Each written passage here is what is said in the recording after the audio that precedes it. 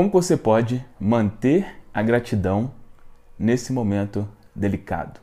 Como se manter grato? Mais importante do como, por que você deve se manter grato nesse momento? Quais motivos você tem para isso? Ontem eu precisei ir no supermercado, né? Óbvio, como acredito que a maioria das pessoas estou evitando ao máximo, né, sair de casa, o final de semana todo passamos em casa, mas não teve como, tive que ir no supermercado. E chegando lá, logo que eu cheguei, eu me deparei com uma fila enorme, né? Primeiro, ela era enorme pelo espaçamento, né? Então não é uma fila normal de um, um atrás de um, tinha ali mais ou menos um metro de distância para cada pessoa, então isso fazia a fila parecer maior do que ela realmente era. É, e, enfim, né, não, a gente não está acostumado com isso. Né? A gente está acostumado a ir no supermercado, vai lá, compra o que quer, volta, beleza. E eu precisei ficar, deu quase duas horas, deu uma hora e quarenta, uma hora e quarenta mais ou menos na fila para ir no supermercado. E logo que eu cheguei né, lá com o carro, eu, eu, assim, eu bati o olho e falei, cara, não acredito. Não acredito que eu vou ter que enfrentar essa fila. Eu pensei, pensei, acho que vou ligar para minha esposa, ver pra, se ela tem alguma outra sugestão de algum outro lugar. Ah, eu acho que eu não vou. Enfim, eu fiquei pensando em como evitar aquilo. Por que isso? Né? Porque, obviamente, aquilo, na hora, aquilo para mim era desagradável, né? Poxa, né, tem que fazer isso.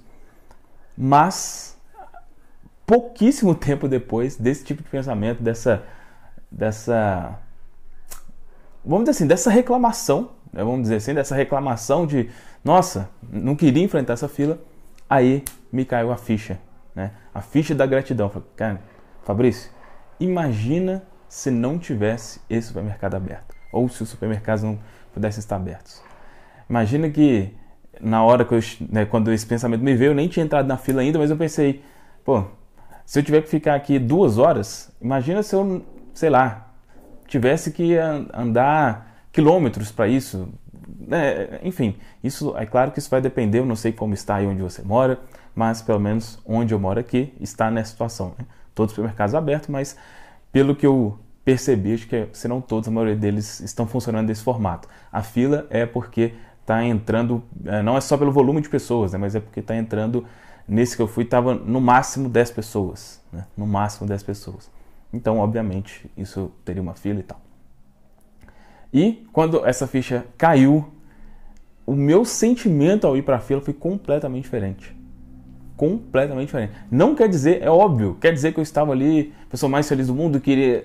Nossa, que fila maravilhosa. É claro que não é isso, não é, sabe? Não, não é isso mas é perceber que o benefício é maior do que aquele desconforto temporário. O benefício é maior que o desconforto temporário. É, é bem importante eu, falar, eu frisar isso para você, porque quando é, eu falo sobre gratidão, eu acredito que a maioria de vocês aqui entendam bem isso.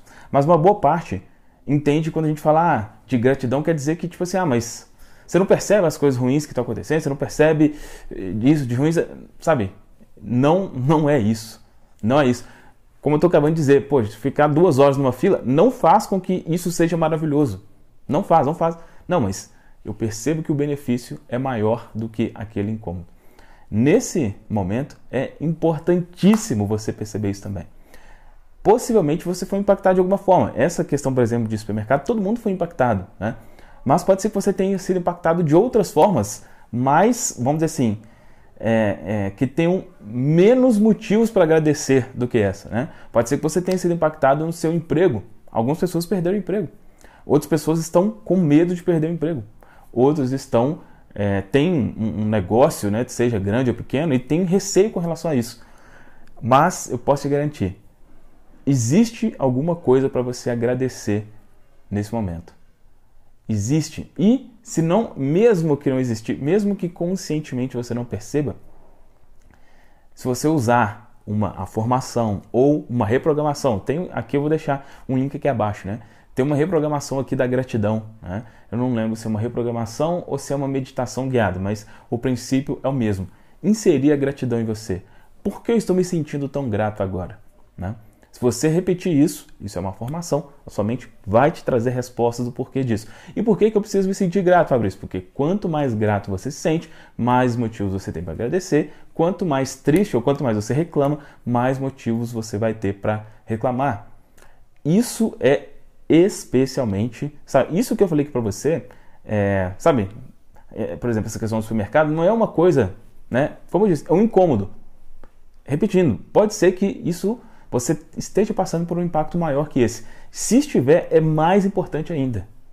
É mais importante ainda você encontrar motivos para se sentir grato, para se sentir bem. Se você tiver dificuldades com relação a isso, eu já te sugiro que você acesse essa reprogramação né, para ter esse sentimento realmente de gratidão. E só para te dar alguns motivos aqui, se porventura você não, não é, consegue pensar agora, se a gente for é, ver assim, gente, por mais que nessa situação esteja tá impactando o mundo todo e tal, e, e obviamente está trazendo é, dificuldades, né? Mas a velocidade com que foi descoberto isso poderia até ter sido antes, provavelmente, né? Mas é, a velocidade com que foi descoberto qual era o problema é, e parece, pelo menos parece, né, que já está realmente avançado uma busca assim por uma solução com relação a isso. Isso são motivos para agradecer. São motivos. Alguns anos atrás, pessoas, a pessoa quando tinha uma tuberculose, por exemplo, ela morria, sabe? Não tinha. A pessoa pegava a tuberculose e falou, cara, sinto muito, tal, porque já, sabe, não, não tem cura, não tem solução. E isso aconteceu com pessoas de qualquer idade, né? Uma pessoa de 30 anos, 20 e poucos anos pegava isso, morria, pronto. Hoje em dia é completamente diferente isso. Né? Então, só isso, só, só esse, esse avanço relacionado a tanto a velocidade né, de se descobrir qual, qual que foi o problema e também né, como prevenir, já são motivos para agradecer. Né? Mas com certeza cada um de nós tem os seus motivos particulares também para isso. Mesmo nesse momento, não, não só mesmo nesse momento, especialmente nesse momento, você tem que manter um sentimento de gratidão.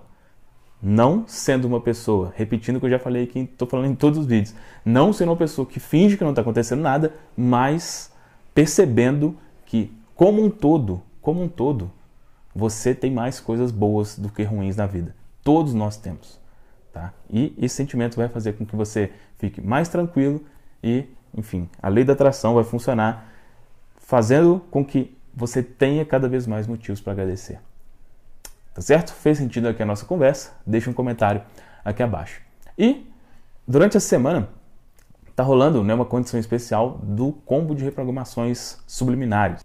Os meus áudios de reprogramação que são pagos. Tenho vários gratuitos aqui no YouTube e tem os pagos também. Tem um link aqui abaixo, né, se você quiser. É, é preciso você se cadastrar, tá? Você precisa se cadastrar para ir acessar a página e você ver lá qual que é essa condição. Beleza? Se fez sentido, deixa aqui um comentário e dá um like também até amanhã no próximo vídeo. E é, ainda nessa semana, provavelmente vai ser na sexta, provavelmente na sexta, não sei se quinta ou sexta, mas provavelmente na sexta, a gente vai começar o nosso estudo aqui do livro O Poder Subconsciente. Então fica ligado que provavelmente também vai ser ao vivo, vai ser através de lives para a gente poder interagir. Beleza? É isso, forte abraço, até o próximo vídeo.